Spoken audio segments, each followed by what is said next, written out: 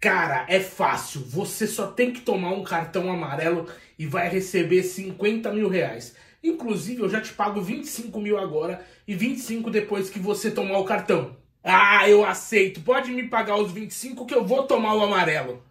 Vai, jogador. Você está preso por fraudar uma partida de futebol.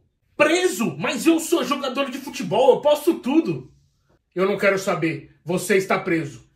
E por ser um jogador de futebol, você deveria entender que esse é o sonho de milhares de pessoas. Você joga em um time de Série A. Você ganha mais de 300 mil reais por mês. Deixou-se corromper por 50 mil reais. Claro que pode ter tido outras vezes também, mas não vem ao caso o que você fez. Além de ser crime contra o estatuto do torcedor, também pode ser associação criminosa prevista no Código Penal e também estelionato. Então, sim, você está preso. Inclusive, o STJD pode te banir do futebol. Caramba! E é bom que fique muito claro que o culpado de tudo isso não são as casas de aposta.